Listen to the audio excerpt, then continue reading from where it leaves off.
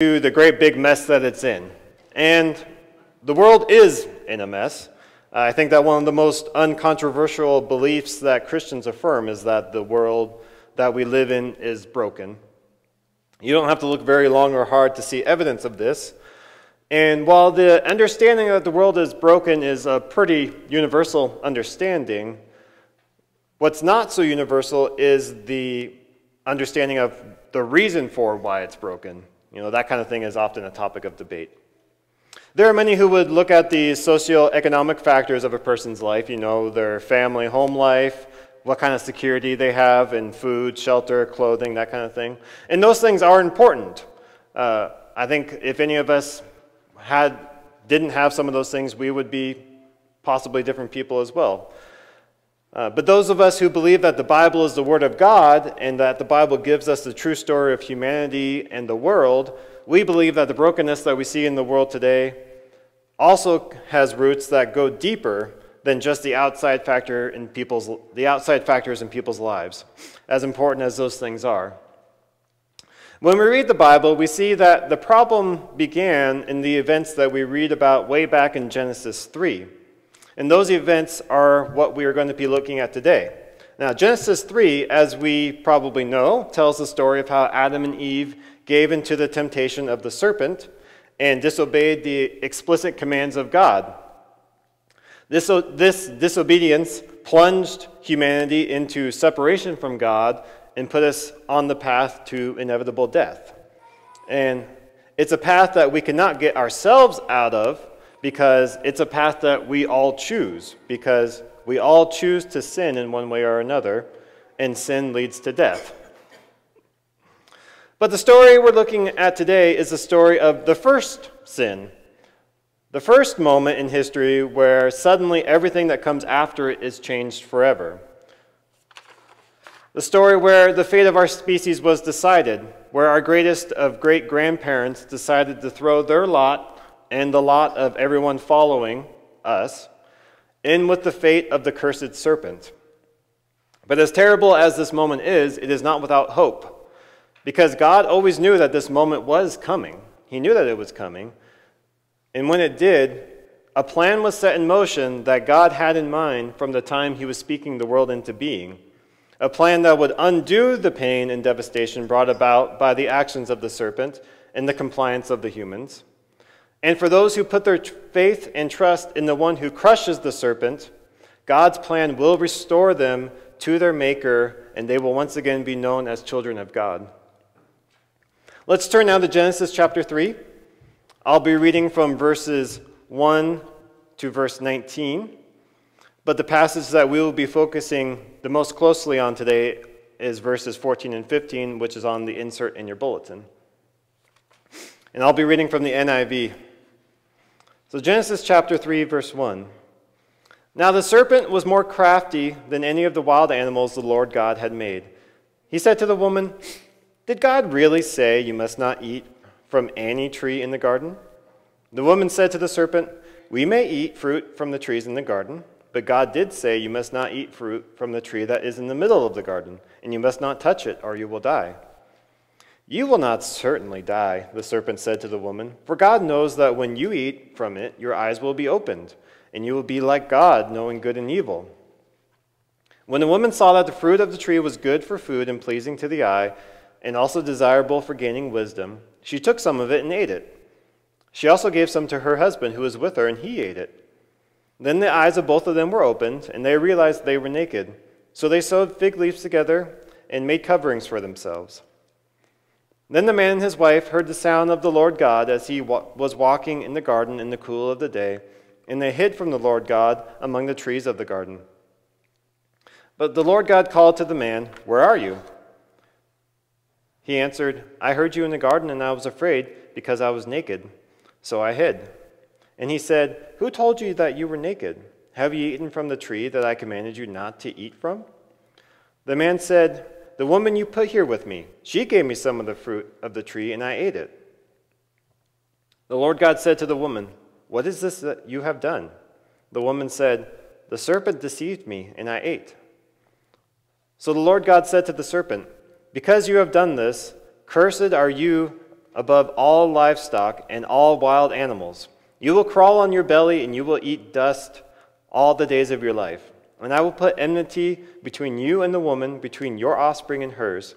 He will crush your head, and you will strike his heel. To the woman he said, I will make your pains in child childbearing very severe. With painful labor you will give birth to children. Your desire will be for your husband, and he will rule over you. To Adam he said, Because you listened to your wife and ate fruit from the tree about which I commanded you, you must not eat from, from it. Cursed is the ground because of you. Through painful toil you will eat food from it all the days of your life. It will produce thorns and thistles for you, and you will eat the plants of the field. By the sweat of, by the sweat of your brow you will eat your food until you return to the ground, since, since from it you were, you were taken. For dust you are, and to dust you will return. We've all felt the effects of sin in our lives. Nobody is immune to the brokenness in the world. And as we've just seen, the reason for this is because right as we as a species got going, right as we were just about to just do our thing, we took a turn down a path that we were never supposed to go. But we didn't go down that, we didn't go down that path alone, did we? Leading the charge down the path was the one who, in, who was introduced in this story as the serpent. He was, he, he was bent on causing the downfall of humanity. Now, those of us who grew up in Christianity are probably familiar with this character, the serpent, uh, and how the Bible later on calls him Satan and how he is viewed as being the one who's actually behind the serpent in the story. You know, the story isn't about just any old snake, and that's pretty obvious. I don't know of any tradition uh, or biblical passage that tracks the journey of a simple snake as it develops a vendetta against humans and then plans on carrying it out against them in some elaborate plot. No, we're not talking about a vindictive snake here. That's, there's obviously more to it than that. So for our purposes today, though, it is, an, it is enough to view this character as the same one who tempted Jesus in the wilderness and who will eventually be thrown in the lake of fire at the end of all things in Revelation. And in this story, for this serpent's evil purposes, he appears in the form of a serpent. And just as snakes today lay eggs and lie on them, the serpent from this story has been sitting on a plot that is ready to hatch. And it wants, to, it wants to be rid of humanity. And it would be all the sweeter if it could force God's hand to do the job himself. Because the only thing that this creature hates more than humans is God and God's love for humans. And he can't be rid of God. God is eternal and everlasting. He can't get rid of God. There's no getting rid of God. But he can, so it appears by the rules that God set up, be rid of humans and grieve God at the same time. This was the plot. God set up a choice that the humans had to make every day. Every day, they had to choose whether or not they were going to obey God's instructions and not eat from the tree of the knowledge of good and evil. This is set up in the previous chapter, and you're probably familiar with that story. When God created the world, he planted a garden and he called it Eden. In and amongst it, he planted an orchard of fruit bearing trees, all of which were good for food, except he planted two special trees one was the tree of life, and one was the knowledge of the tree of knowledge of good and evil. And God specifically commanded Adam, and this was before Eve was even made, that he is not to eat from the tree of the knowledge of good and evil. Anyone who did would die. And here's where the enemy found a legal loophole that would trick humanity into guilt before God and seal their fate of death. So the enemy did what he does best he acted shrewdly. That's what the text says he was. He was shrewd, he was crafty. We just read how he did this better than any other of God's non human creatures. He was more crafty and shrewd than any of the wild animals of the field. And on the surface, these are not necessarily bad characteristics. Indeed, the ability to be crafty and clever are characteristics given to the serpent by God, since the serpent was a created being. The serpent didn't create itself, God created it. And in, Proverbs, in the book of Proverbs, 1, chapter 1, verses 1 to 7, we read, The Proverbs of Solomon, son of David, king of Israel, to learn wisdom and moral instruction, to discern wise counsel, to receive moral instruction and skillful living, with righteousness, justice, and equity, to impart shrewdness to the morally naive, a discerning plan to the young person. Let the wise also hear and gain instruction. Let the discerning acquire guidance. To discern the meaning of a proverb and a parable, the sayings of the wise and their riddles. Fearing the Lord is the beginning of discernment, but fools have despised wisdom and moral instruction. So, being able to be shrewd and crafty is actually a God given ability. But in that ability, God planted a dependency. And that dependency required that we stay in a place of fearing, that is, honoring and respecting and deferring to the Lord. And that is exactly what the serpent didn't do. He didn't fear the Lord. He didn't show the Lord proper honor and respect. He didn't care to try to understand God's purposes for the way the world is ordered and structured and humanity's place in it. And in his headlong pursuit of being rid of Adam and Eve, he proved himself to be a fool because the plot he hatched turned back on him and led to his own downfall because God is about to bring the hammer down. Anyone who has kids knows that the process of disciplining and figuring out who did what and who said what and who's in the wrong know that sometimes it's complicated to figure out who needs to be punished, but sometimes it's not complicated at all. It's just time for punishment. And that's what we see in the story. You know, with, with Adam and Eve, God asks questions, and God hears what Adam and Eve have to say for themselves. But when he gets to the serpent, there are no questions. There is only a curse, there is only punishment. There is no need to explain the situation. The situation explains itself. There is no grace. There is only irrevocable condemnation. The serpent, in its quest for satisfying its hate, sealed its fate. Its pride was its downfall. And its punishment was to crawl around on the newly cursed ground that is now full of thorns and thistles and dust. But it's not just the serpent who is banished to the ground. Adam, too, is doomed to return to the place where he came from. He came from the dust, and to the dust he will return. Because Adam chose to follow the way of the serpent and break the explicit commands of the Lord. And he now lives in a new reality where his fate and the fate of the serpent are forever joined. They now live in a world where the destiny of humanity is to return to the dust, and the punishment of the serpent is to eat the dust. And this is a disturbing image. I haven't tried to sugarcoat the reality of what's going on here. The story, as it's told in Genesis 3, paints a horrific image of Adam being doomed to one day return to being dust once again, and the deceiver who hates him so much can one day consume the dust that was once Adam. That's the story as it's painted here. That's the image given. And I'm aware of how disturbing this is, and it's understandable to wonder why would God declare that such a thing should happen? Wasn't there another option? But what other option? You know, God's rules are his rules. He made the world, he set it up as it is. And, at, and at the way God set it up, Adam and Eve must die because they broke God's rules. That's how it was set up. But what about the serpent? Why couldn't God just, you know, like just kill the serpent, be done away with it, and pretend like this whole thing never happened? Well, because God never said he would do that. He never, that was never a part of what God said he would do. Up to this point, human beings are the only ones who have the borders and boundaries around what they can and can't do. And there was nothing human about this serpent creature. So the rules about death, eh, about the death of humanity, didn't apply to him. But you might also wonder, you know, why didn't God, why did God, like, why did God join the fates of humanity and the serpent together like that? But you know, it wasn't God who joined them together the first time, was it? They did that themselves. Adam and Eve are the ones who chose to listen to the serpent when they knew God had said otherwise. That was their choice. They chose to be joined with him. God simply gave them what they wanted. This is what sin does. This is how serious sin is. And this is the sin that sent Jesus to the cross. There was no easier way. God didn't take on our humanity in Jesus and suffer and die on the cross when all the while there was an easier way to take care of this problem.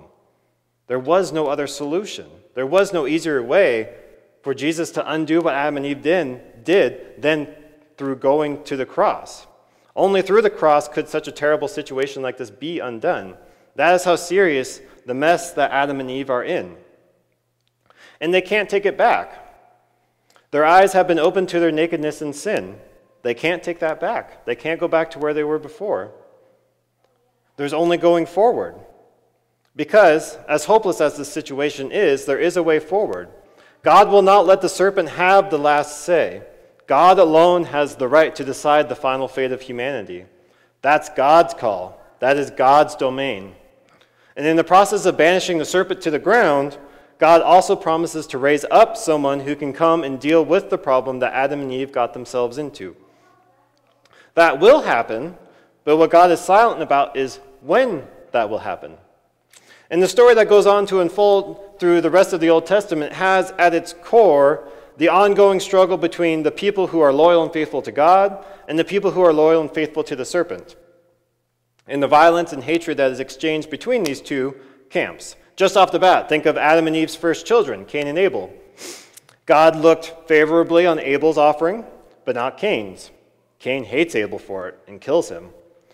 And on we go. Adam and Eve have another son, Seth.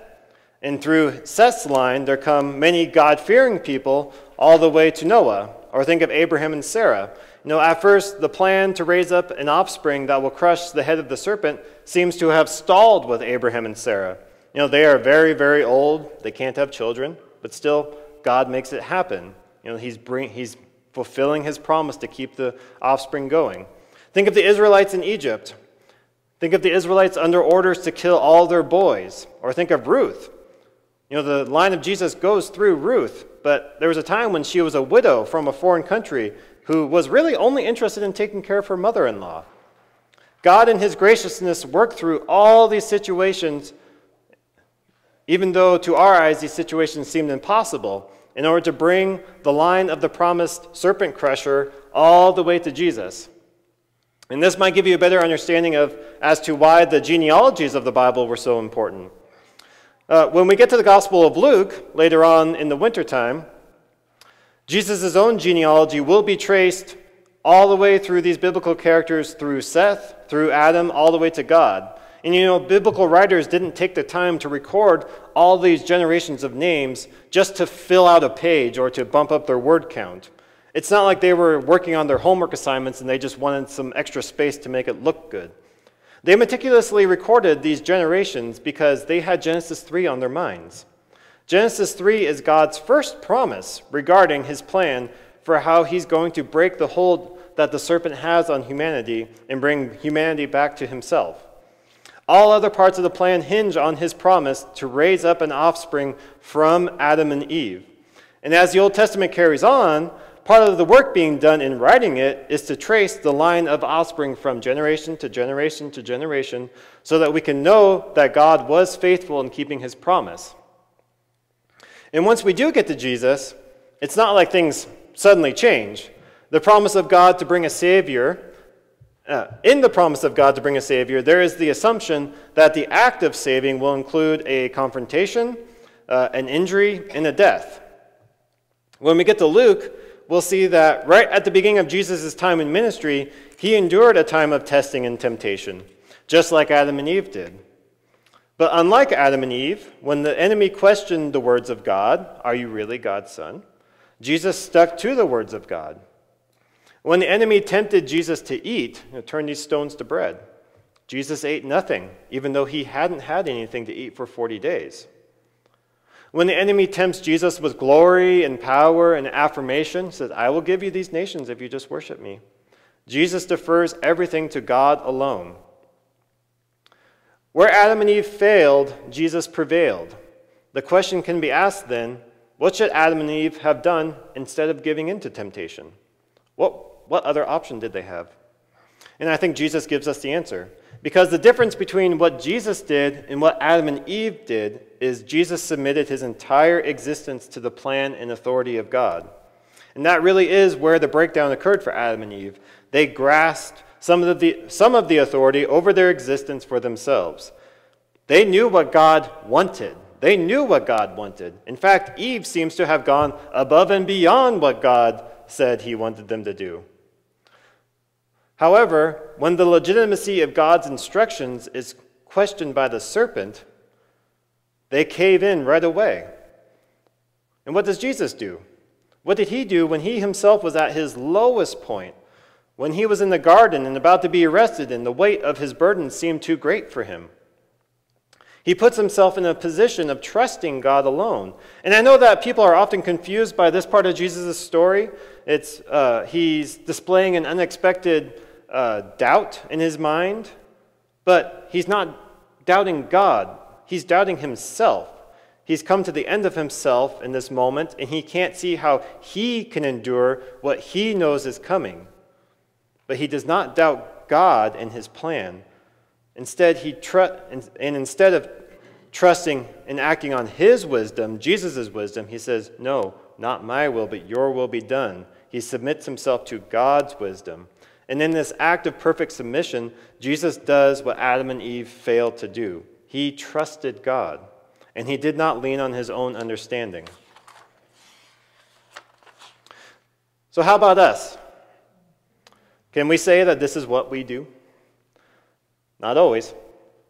If we're honest, many times we are far closer to Adam and Eve than we are to Jesus.